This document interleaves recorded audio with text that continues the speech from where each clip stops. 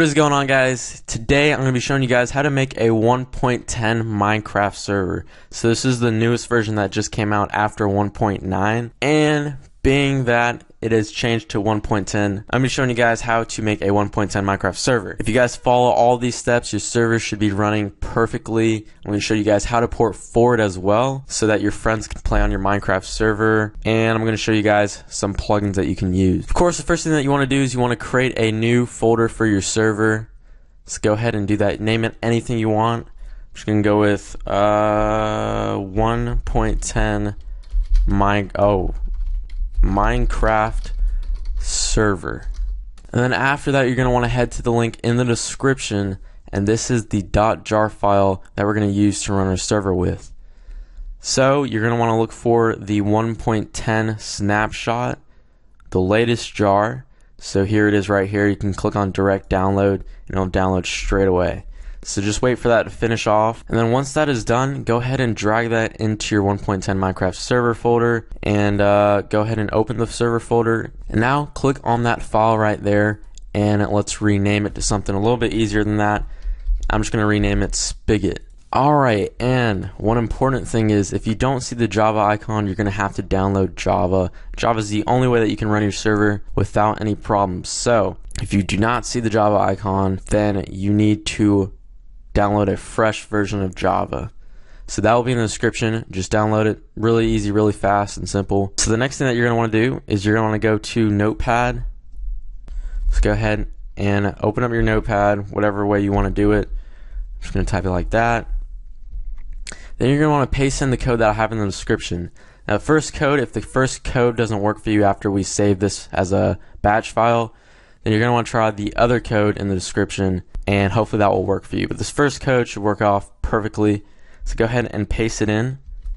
So there we go. Now this right here, 512M, that's like almost half of a gigabyte that we are giving this server to be ran on. So if you guys want to give more RAM to your server so that it lags less, your computer is making sure that the server is running more, then you can go to my computer or this PC, something along those lines with the new Windows 10 update. It might be a little bit harder to find that. Just go to my computer and then go to properties. So just right click on my computer, my PC, this PC, right click on it and click properties. This is how we can tell how many gigabytes of RAM we have on our computer. I have 12 so if you want to allocate more RAM for your Minecraft server so that it runs smoother, and we can do that by typing how many gigabytes of RAM we want to give to the server. So if we want to give a lot of gigabytes to the server, depending on your computer, like if you have four, you might want to give one gigabyte so that it can run smoother compared to half of a gigabyte. Being that I have 12, I'm going to give three gigabytes, so you can type in 3 GB to MB. And I'll give you the number of megabytes that it is. And we can just go ahead and copy that number here and paste it in over the 512. Make sure that the M is still at the end of the code and then just hit save as. Go to your Minecraft server folder and then you can either type start or launch or run, but whatever you type, just make sure that it has .bat at the end. And then save as type, make it all files. And this is what we're going to use to start our server. Just click on save. We can exit out of that now and go ahead and start up your Minecraft server now. So you can do that just by double clicking on the start and it's going to load the library. So we're going to run into one problem that everyone runs into when starting your Minecraft server off for the first time. So it says failed to load EULA, you need to agree to the EULA. So everyone has to do this, just press any key to continue and then go into the EULA. So you can right click on that and hit edit with notepad or notepad. I'm just going to hit edit and then change the false to true to agree to it and hit save. So after that we can just run our server again and it will load properly. So it's just going to be doing a bunch of loading, loading all the files, loading all the worlds. This might take a minute. And whenever we double click on that start batch file, and just so you guys know, we typed in .bat at the end to make it a Windows batch file. But whenever we double click on that, we are starting our Minecraft server. Now to stop our Minecraft server, to turn it off, we're gonna have to type stop and then hit enter. So now as you guys can see that it's done loading, but we can type in stop, hit enter, and then that way it will close and turn off the server without any problems. Rather than just exiting out. But now we can exit out because we just hit stop. So now that we're done with that, we can go ahead and port forward so that our friends can join our Minecraft server. To do that, you can just click on the Windows key and R at the same time, type in CMD, hit enter, and then with this, you can go ahead and type in ipconfig. So it's just going to give you a bunch of numbers. Really the only thing that you have to worry about is the default gateway and the IPv4 address. But go ahead and type the default gateway into the top of your browser. So the browser, at the top of the browser, the search bar, go ahead and type in that number by the default gateway. So mine is 192.168.0.1 and go ahead and hit enter. So now it's going to ask you for a username and password. So this is pretty simple. You just go into another tab type in the name of your router, like the company it's made by, Netgear, and then the model number. And then at the end of that, type in username and password, and it should give you the username and password. Most people have to look this stuff up because it's just something you don't know by heart. So I'm going to go ahead and find out my model. Now by default, a lot of username and passwords would be admin and then password, like literally admin password. And that's the case for my router, but just to show you guys how easy it is to search it up, company name for my router, and then the model number, which is C6300. And of course, you're gonna have to look on your router to find this out. And I'm just gonna type in username, password, and like here it says how to log in with the router. And scroll down, and what do you know? We find out the username is admin, the password is password. Perfect. All right, so let's go ahead and type that in now. Admin Alright, so now we're in. So you're going to want to go to the advanced setup and then look somewhere where it talks about port forwarding. So I'm going to go to advanced setup here and then here it says port forwarding. So just look somewhere where it says port forwarding and click on that. Now make sure it's on port forwarding and I'm going to change that to always because I'm always going to want my server to be port forward. Okay, so for mine I'm going to have to add a custom service but you just basically want to look on how to add a port. So just wherever it says add and then for the service name, you can just type Minecraft and make sure it is on TCP slash UDP. And for the port, just type in 25565. Just type that in for all of them, 25565. And then for the internal IP address, this is what you're going to want to get from your IP config.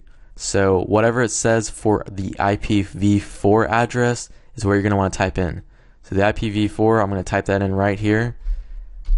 And there we go. So after that, just hit apply and it should be port forwarded. So let's go ahead and we can test this out. So I'm going to open up my Minecraft.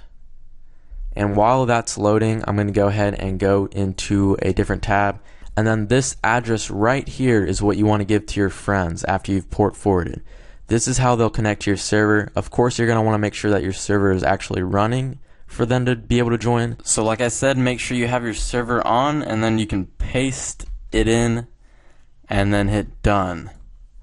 So after that, if you refresh it, then you should see your server at the bottom, fully loaded with green bars and ready to connect to. Just make sure your server's on, make sure you've port forward correctly. Just make sure you port forward to the port is 25565, make sure it's on UDP slash TCP, and make sure you put your IPv4 on the router website. Besides that, that is pretty much how you get your server running. From this point on, you can download any plugins that you want to add to your server, and plugins are basically just add-ons for your Minecraft server that enhance it. So let's say you want some mini games on your server, then you can go ahead and add that. But if you're new to this channel, make sure to subscribe because I do make plugin tutorials and I show you guys all awesome different kind of plugins that you can add on in your server and they're all updated. And there's a PermissionsEx tutorial that you guys can watch to give your players the permissions to do things on those plugins. You click on that video right here to watch it. So if you did successfully make a Minecraft server, make sure to drop a like, subscribe for more. But if you are having any problems, I can show you a couple solutions that might be able to help. So back on the port forwarding page, if you guys go down to UPnP, and make sure that's enabled. Somewhere on your router page, there should be something that says UPnP. Just make sure that's enabled and that should work well. Another thing that you can do is you can go to your firewall. So just locate your firewall under the control panel, system security, Windows firewall, and then click on advanced settings. And then after that, what you're going to want to do you're going to go to inbound rules and then click on new rule and then click on port. So we're going to have to add this port to the firewall so that firewall allows it to be used. So we're going to have to do this twice for the inbound and then twice for the outbound. One for TCP and then one for UDP. So let's go ahead and type 25565 and then allow you can go ahead and click next and then you can name this Minecraft TCP and hit finish. So there we go. Now we have to do it again except for UDP. So let's go ahead and do that. And 25565, hit next, next, next, and then name it Minecraft UDP, hit finish. So there we go. Now we have to do the exact same thing for the outbound rules. Let's go ahead and do that. 25565 and then for this one it usually has it on block the connection so just swap it to the allow the connection and then Minecraft TCP there we go now if we click on port you hit next now we can do this for UDP so 25565 allow the connection and then Minecraft UDP so that should also solve a lot of problems like I said, if nothing works, make sure you restarted your router after you port forwarded and make sure that you did not change any numbers in the server properties. So if everything works out well, then you should be able to connect your Minecraft server. Let's go ahead and hop in here. Bam, we're in a Minecraft server. So hopefully you guys do subscribe to know about all the awesome plugins that I'm going to be doing a tutorial on or reviewing. And besides that, have a great day, drop a like, and I'll see you guys next time. Peace out.